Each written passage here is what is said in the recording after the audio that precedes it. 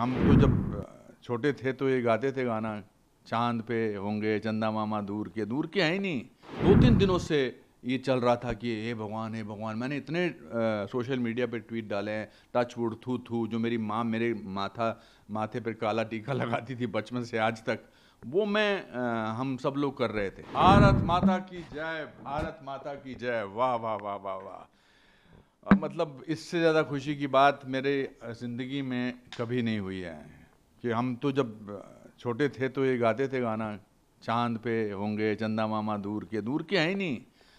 तो मैं इस मौके पर सभी देशवासियों को नतमस्तक होकर और ख़ासकर हमारे इसरो के साइंटिस्ट को नतमस्तक होकर प्रणाम करता हूँ और कहता हूँ कि उनकी ये सफलता पूर्ण रूप से पूर्ण हुई।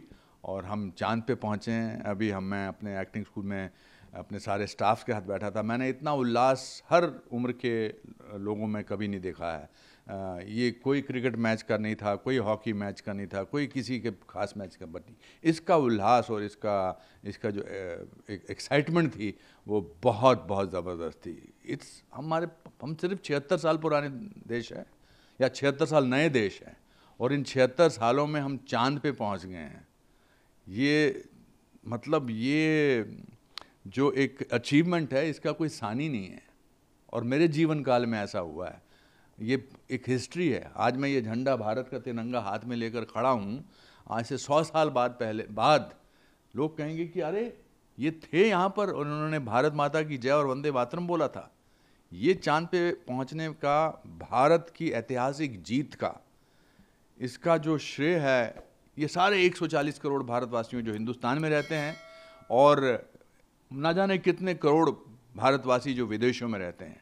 आज सबका नतमस्तक जो, सबका जो मस्तक है, वो ऊपर हो गया होगा। Can you imagine a person an Indian walking any in the world today and everybody else looking at him कि, वाह, ये जा रहा है वो भारतवासी, ये जा रहा है वो हिंदुस्तानी, जिसका मुल्क, हम अकेले पहले देश हैं जो साउथ में लैंड किए हैं।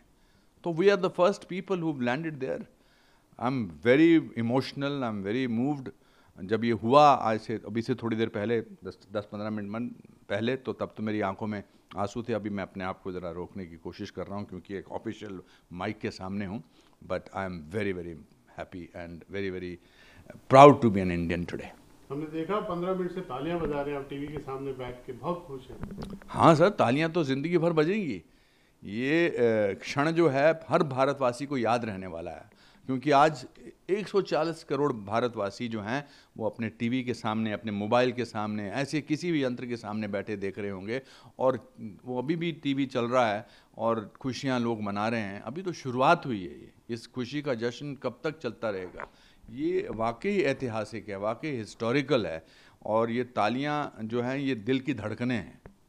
हालाँकि हाथों से बज रही हैं, मगर जो दिल में धड़कनें हो रही हैं, वो हर धड़कन जो कह रही है, वो छाती कितनी वाकई उनकी छाती जो है, कितनी चौड़ी हुई होगी।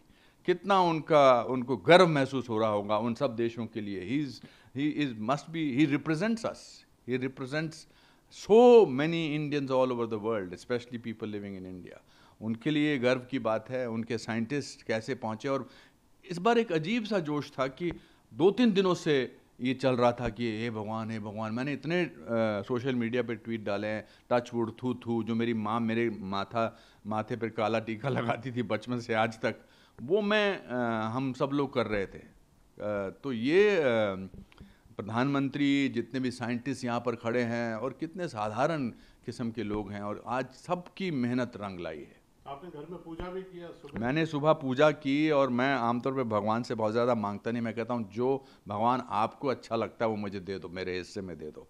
आज मैंने भगवान से मांगा कि भगवान, चंद्रयान तीन जो है, हमारा मून पर लैंड कर जाए। प्लीज़ प्लीज़ प्लीज़ सब भगवानों को याद कर लिया मैंने। और सब घंटियाँ वंटियाँ, सब जगह बजा दी, सब धूप, अगरबत्ती, सब मंत्र उच्चारण कर दिए। और अभी मैं बहुत खुश हूँ।